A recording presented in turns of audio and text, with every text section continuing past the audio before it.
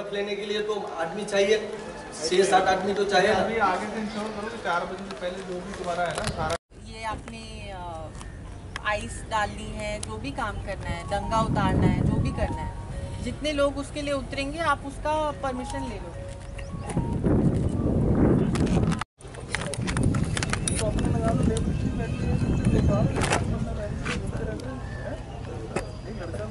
Okay ma'am, जो fisherman है, वो कितने हैं और उनको जाने के लिए क्या व्यवस्था की गई ड्यू में अभी तीन, साढ़े तीन हज़ार फिशरमैन है। तो अभी हमने फिशिंग का काम चालू किया है आज से। तो ये लोगों को परमिशन दी जाएँगी और लोग अपनी फिशिंग एक्टिविटी अब से रिज्यूम कर सकते हैं।